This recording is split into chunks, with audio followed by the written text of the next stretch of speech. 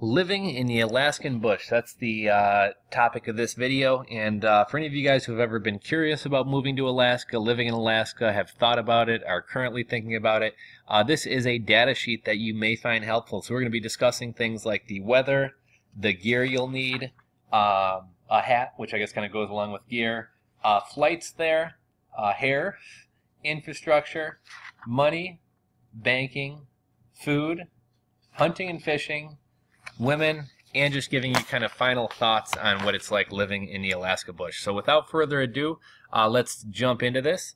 Um, living in the Alaska bush. I had been working the cubicle grind for a couple years, but always dreamed of going to Alaska. I wanted to experience another way of life, experience adventure on the edge of civilization, and experience the unknown. Alaska is a huge place, and it can be very different from one region to the next. Most of my time has been spent in the Arctic in an area only accessible by small plane.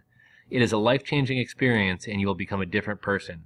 Uh, this, this video is basically intended to be a general overview of what it's like. Uh, some areas like hunting and fishing would require a separate and more detailed post, uh, so I'll try to keep things kind of as general as possible. So uh, first off, weather. In the Arctic, you have eight months of winter and four months of no summer. in the summer, there might be a week of really hot weather, but for the most part, you will always be wearing a sweatshirt. There's very little rain. Uh, the American Southwest gets more rain than up here, just to give you kind of an idea. Uh, in the summer, you get uh, days with 24 hours of sunlight, and this can make it hard to sleep. So you need to buy blackout curtains. Uh, your body doesn't get tired and keeps telling you to go, go, go until you hit a wall and crash to sleep. Uh, you have a year's worth of experiences and activities in the summer because there's so much to do outdoors. In the winter, everything is frozen solid and it gets cold. Uh, it's amazing life even survived up here and continues to survive up here. It can hit negative 60 degrees Fahrenheit and gets even colder with the wind chill. Uh, with some wind, it can hit minus 100. Uh, it feels like hell, a cold hell, and I tell people it feels like being poked by tiny needles. Uh, the constant darkness can beat you down and make you depressed, uh, and try to take lots of D3 to make up for the lack of sunlight. Um, they make pills, or you could even buy a sunlight uh, for inside of your house. Although living in the bush, uh, power can be uh, short to come by as well. So uh, the D3 pills are probably your best option. Uh, the only advantage of the darkness is that it's really easy to sleep during these months. So uh, next, we'll be talking about gear. you will need to upgrade your ward. you need to upgrade your wardrobe to survive the cold. Everything is function over style. You can get through the summer with pretty much anything, but you need to prepare for winter, and winter is always around the corner. Uh, and one thing you'll notice is in Alaska, every month that's not winter is essentially preparing for winter. Uh, the key to keeping warm in the winter is to layer, layer, and layer some more. Uh, you'll need a good coat. The most common coat uh, that I see is a Canada Goose brand. Uh, they'll keep you warm. They do cost around $600. I wanted something custom made to fit me, so I went with an apop- Apocalypse design in Fairbanks. Uh, it's a tiny store, but their coats are the best you can get for the extreme cold, and it is expensive, about $700. Uh, you feel like a giant marshmallow walking around in it, but you will not be cold. Uh, I use my uh, Apocalypse coat for extreme trips and will be outside for more than an hour. Uh, if it's less than that, I have a lighter Columbia jacket that works fine for short bursts outside. Uh, you'll also need a pair of bibs, or overalls as people call them. Everybody has Carhartt Extremes in Arctic quilt bibs. Uh, order a couple sizes too big because you're always going to be wearing layers and you need to be able to fit inside of it. Uh, for boots, uh, most people wear some form of muck or bunny boots. I could never find bunny boots that could fit me, so I went with the most extreme Baffin boots I could find. However, they were too heavy, so I went with the Muck Muck, Muck Boot Company and got the Arctic Pro. Uh, they're awesome at keeping your feet warm, but not very comfortable for long walks. Uh, they rub the back of your foot raw, so they're not comfortable, but they will keep you warm. And when it's not as cold outside, so say around minus 20 or so, I go with winter shoes made by a company called Merrell. Uh, they keep you warm, and it's nice for when you go, uh, you know, when you're going around driving in vehicles and need to actually be able to feel the pedals. Uh, for your hands, you're definitely going to need to get a high quality pair of mittens. Uh, gloves won't work; they need to be mittens. Um, I don't know what the science is behind it, but your hands will be warmer inside a pair of mittens than gloves. I think it's because your fingers um, aren't all separated, where you know they're being exposed by heat at all the different uh, points. You know, when they're in one mitten, your hands can kind of keep each other warm and they kind of circulate the heat inside the glove. Uh, you can, however, get some light gloves to wear under the mittens, and you'll you'll wear mittens for the uh, quick walks outside or going to and from different buildings or places. Uh, but if you're ice fishing, driving a dog team, riding a snow machine, hunting, trapping, etc., you'll really want to uh, to upgrade to a giant pair of uh, of moose or beaver hide mittens. These are going to be about 400 bucks. Uh, you get them in a village from an old lady who sews. They're huge and they'll make you look like you're walking Bigfoot, but they will keep you warm in the most extreme conditions, uh, especially if you wear in combination with thin gloves underneath and throw it, throw in a hand warmer. Um, that may sound extreme, but you really need it. It will actually get too hot with the hand warmer in there, but uh, rather be too hot than too cold. Uh, next is a hat. A hat is one important thing. Uh, you're going to need to get a fur hat. Commercial materials do not even come close to competing in this arena. It has to cover your ears, the top of your head, and down your forehead. Uh, to an outsider, you look kind of funny. Uh, you'll have that kind of 1680s stylish uh, hunter trapper look going on, uh, but you will be able to stay warm. Uh, fur will also keep you dry. It stops the wind. Uh, I've been going through an awful week long rainstorm before winter, and my head stayed warm. Um, you know, even though you look like you're wearing a, a wet cat on your head, you will be warm. Uh, to compare, I went outside one time in a windstorm with commercial gear on. With commercial gear, I mean like mass produced, like Columbia type stuff. And within a few minutes, I had to go back in because my head was burning from the cold. I switched into my fur hat and I was fine. Uh, for all those who are against using animals for fur, you probably live in a warm climate uh, because it's a necessity, uh, a necessity here. Uh, the key places to shop for clothes and gear in Fair- Fairbanks. Uh, my favorite is a store called Prospectors. There's another store called Big Ray's and another one called Beaver Sports. Uh, none of these places sells furs. You have to get fur in the village or stop at one of the fur shops in town. Uh, as far as flights out to Alaska, um, let's switch the picture here, give you guys something else to look at. Uh, travel can be very complicated, and depending on where you're at, you may have to take two different flights just to get from village uh, to the village into Fairbanks or Anchorage. Uh, some of the airlines that service the villages do not have updated websites, and it can be really kind of difficult to plan out your trip uh, without going and talking to someone on the ground. Also, the flight schedule and flight times can be somewhat unpredictable, so you need to be ready at a moment's notice to run to the airstrip. Uh, the planes don't wait for you and they will leave you behind. I've seen people stranded because their flight came a couple hours early and they had no idea. Uh, there may be only one flight a day to your village and nothing on the weekends. And if there's inclement weather, you may get no flights at all for a short period. You know, could be as long as a week or two. Uh, total travel time from where you live in the lower 48 states uh, will be probably around a day and a half or two days each way uh, most likely with a, a hotel layover. And in many cases, your flight out of the village to Anchorage or Fairbanks will cost you more than your flight to the lower 48. Uh, connections will never match up, and you will have awful departing times or arrival times. Uh, most flights out of Alaska dump into SeaTac. Um, so that will be your, your jumping board to anywhere else in the world. Uh, another tip for small airplanes bring earplugs. Uh, you will slowly damage your hearing if you fly around a lot in small planes and don't wear earplugs if you're going to be flying into the village from the Fairbanks hub and have to stay overnight, I always say at, stay at Sophie Station or Pikes. Uh, Pikes has, has, more of a lodge feel to it, uh, but so- Station has a 24-hour shuttle and is right next to Fred Meyer, so you can stock up on food. Uh, from about September 15th to May 15th is w- the winter rate, uh, which is around $80 a night. In the summer, the rates are significantly higher, you know, $160 or more.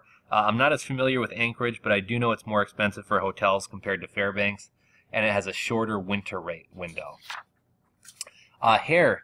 It's like the uh, the big rocker hair of the 1980s never went out of style here, and it's culturally acceptable for men to have long hair. And besides, there won't be anyone to cut your hair, so you might as well grow it out. Uh, you did come up here to be a mountain man, right? So you know, hair, beard. Uh, don't worry about being well groomed. Uh, in terms of infrastructure, uh, there's not a lot out here. Uh, the here we're looking at kind of a weather map of, of Alaska, just to give you an idea how things can get. But there's not a lot out here in the villages. The airport will be a gravel landing strip at the edge of the village. Uh, there will be some trail trails and gravel roads. That's it. No hotels, no gyms, no bus lines, no taxis, and nowhere to eat. You're completely on your own. Uh, if you have an if you have employer housing available, it'll take care of your problems. But you can have a comfortable existence. Uh, some places have limited cell phone coverage or no coverage at all. And if you're really lucky, you might be able to get some internet. Uh, internet in the bush is satellite based, it's slow, and it's expensive. So uh, you'll disconnect and unplug from the world. The villages have diesel or biomass generators for power generation, uh, but you can expect frequent power, out, uh, power outages uh, at the worst possible times. Uh, some villages have running water, many don't. Uh, if you're in a village that does not have running water, it will be a very difficult experience. Uh, people will not shower every day and will wear the same outfit for days at a time. Uh, if you have running water and don't have to use an outhouse at negative 60, you'll feel like you are living a life of luxury. So don't get used to being comfortable here. Uh, in terms of money, nobody comes to Alaska because they love the weather. They come for the opportunities. the outdoors, and the freedom and or the money. Uh, the major job opportunities in the villages are government or administration jobs, uh, school teacher, which actually has high wages, great and great health insurance, um, and a pretty average pension. Uh, healthcare provider, uh, high demand, especially in rural areas. Uh, public safety or technical trade, like a, a mechanic, an electrician, etc. Um, it is very difficult to find a good job, qualified people to work in the bush. Uh, but even then, most employers in Alaska want to hire someone with Alaskan experience. Uh, I've seen lots of people from the outside that come up with romanticized views of, of you know what it's going to be like, and they typically don't last very long. Um, so just you know, basically having been there for a while and proven that you lasted is kind of a big point to employers. Uh, if you can get accepted beforehand, that's going to be rough and really shitty, um, but you'll be able to survive. Um, in the village experience, if the village experience isn't your thing, you can always find a job in the tourist or coastal fishing industry. Um, I'm pretty far away from the coast and not in a tourist area, so I really can't comment too much on those.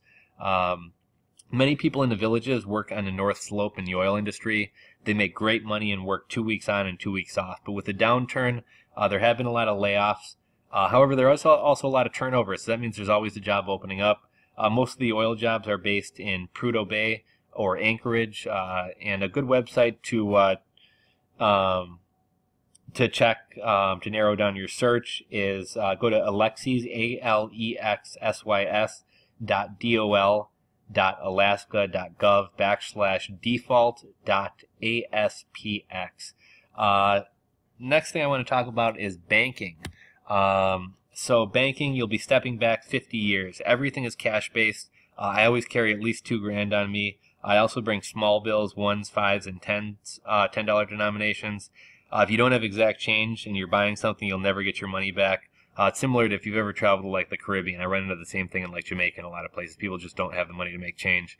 Um, it's not like you can just run out to the bank and oh, you know, give me a roll of quarters and and a hundred ones or whatever. Uh, the village store may accept credit debit cards if the phone line's working. If it's not, they won't. Uh, nobody takes checks, as there's no easy way to cash checks out here. Um, moving on to food. Uh, Alaskan is a league of its own when it comes to the cost of food. Uh, you're at the end of the line, so your food selection is pretty limited, and the food that's available is not fresh unless it's like meat or fish. Uh, if you're really lucky, the village store, if you even have a village store, might carry a small selection of vegetables, uh, but most of the smaller places only sell junk food, canned food, soda pop, and cigarettes. Uh, the prices are, are, just simply prohibitive. A bag of walnuts is $40, uh, half a melon is $16. A head of cabbage is ten dollars. An apple is three bucks. Uh, I've never had cabbage in my life, and now that that's all I eat because it's really the only uh, fairly affordable vegetable. Uh, if you have internet, you can order dried fruits from Amazon and have it shipped to the post office. If you require regular food and a food selection, you can do a bush order from Fred Meyer. They'll box up some food, get it on a plane, and get it sent out to the village. But again, it's expensive. Uh, I've never done a bush order because I didn't want to deal with the hassle. Uh, you have to meet the plane at the landing strip. If you're not there, the box will be left on the ground and the plane will leave, and then anyone in the village can walk off with it. Uh, as far as hunting and fishing, that's what you really need to, to do. Uh, both these require their own detailed post, but I'll give you kind of a general one here. I use a gun and one type of bullet, otherwise the logistics of keeping your own private armor, armory will be too much. Uh, I settled for a 30 yards 30 aught 6 with 180 grain bullets. I use the same gun, same type of ammo for everything, regardless of if it's a beaver, a bear, or a moose. Uh, you don't want to have to check your scope just because you are switching to a different bullet grain, so it's easier just to keep it consistent. Uh, most guns in a bush are open sight, uh, iron sight, uh, because of the reliability. Uh, scopes can break or fog up, especially in this climate. And uh, bring all your ammo with you too. You won't be able to buy what you need in a village. For duck or goose and small game hunting, you'll want to want to use a pump action 12 gauge. don't bring an auto loader. it'll just simply get jammed up in the field. Uh, after one year, you become a resident for hunting and fishing purposes. For most other states, uh, the time frame is six months. Uh, also, once you hit the one year mark in a rural area, special subsistence, excuse me, hunting and fishing rights will be open for you. Uh, you'll need to find a local to take you hunting as you won't have the gear or the knowledge to hunt in the bush as an outsider. Uh, there are certain cultural boundaries you need to respect. And if you're hunting with a local, you'll be accepted and people will open up to you. In many places in the lower 48, hunting is a hobby or a weekend activity, uh, but up here in the Alaskan bush, it is a way of life. Uh, I never fished up here with a rod and reel, and I've never seen locals fishing like that either. Uh, there's no such thing as leisure, leisure fishing or catch and release. It's catch and keep. Um, most of the uh, native fishing is done using nets or fish wheels. Um, you, you, know, if you watch uh, shows like uh, Alaskan Bush People or um, I forget some of the other ones, but you, have probably seen what I mean by that. Uh, you can be the most educated person in the world, but you'll feel like a dumbass for the first time. Uh, you, tr- you try to set a giant tangled net from the boat in a swift river. Uh, and after a few times, you'll start to feel like MacGyver as you tie things off and set knots and are constantly improvising with whatever resources you have around you. And that's really a necessity in Alaska is improvising and working with what you have because it's so hard to get materials. Uh, you should buy a book about how to tie knots and practice. Uh, most people can hardly tie their own shoes. Uh, you'll use a lot of different knots for setting up camp, hanging meat, drying fish, setting a net, tying off a boat to a dock. So it's really good to have a knot for any situation that comes up. Okay, so we just touched on uh, hunting and fishing, and like I said, that was very brief. As hunting and fishing, you know, it could take years to, to learn everything you need to know, but that's kind of everything in a nutshell there. Uh, something else you guys may be wondering about is women. Uh, this is one of the major drawbacks of not only Alaska, but even more so the bush. Uh, I've seen a few gems, but uh, smoking and drinking takes a heavy toll. Uh, it's a hard life in Alaska, and I've seen some messed up stuff go on. the women are fighters and are generally pretty ornery. Uh, and I've even seen the women beat up the men. Uh, there isn't a really a culture of marriage up here. You see a lot of cohabitation. Uh, they start having kids young, and it's it's not really a thing for men to drop out of the picture before a child's even born. Uh, you see a lot of intergenerational living, um, where you know basically grandparents are taking care of the children and grandchildren. And when you fly back into town, you'll have serious beer goggles on for every woman who looks attractive, even if she's not, uh, because in the bush it's uh, it's rough. Uh, final thoughts on living in a bush. Uh, the bush is an experience that most definitely is not for everyone. Uh, you have to be get be comfortable and get comfortable with being uncomfortable, if that makes any sense. Uh, life in a bush is survival oriented, and nothing else really matters. You know, it's not about style. It's not about uh, material things. It's about getting by and not dying, basically. Uh, you get by with less and you go without luxuries. Uh, you make some good friends, but everyone's a little bit crazy. Uh, you learn patience, and uh, little things no longer uh, upset you. Uh, you see food as a valuable possession, and it's something that takes a lot of time and effort to obtain. Uh, you know, it's not like you can run down to McDonald's and grab a burger. Like you have to kill, cook, skin, eat, and prepare everything that you do. Uh, you learn how to hunt and, and, how to take care of your meat. you have no choice but to learn how to cook. you learn independence, survival skills, and how to rely on yourself. Uh, you learn what it means to be part of a real community um, and be bound together by physical isolation. So, whereas back at home, you don't really need other people. You need other people in Alaska. And also because the communities are so small, there's much more of a community feel.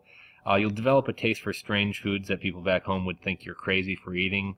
Um, if the bush is too much for you, you could always try for, you know, one of the pipeline or oil field jobs or try to find something in one of the major cities where you can have a more quote unquote normal life and still have the last frontier, you know, right at your doorstep. Um, but that is uh, Alaska and living in the bush in a nutshell. So if you guys have any questions, comments, or, or want to share your own experiences, feel free to do so in the description box below. If you enjoyed this uh, this video, please give it a thumbs up. If you're not subscribed, please click that subscribe button below and uh, check back for more videos. I'm going to be sharing some more uh, data sheets and more interesting stuff on Alaska and other experiences. So thanks for tuning in. Thanks for watching. We'll catch you on the next video.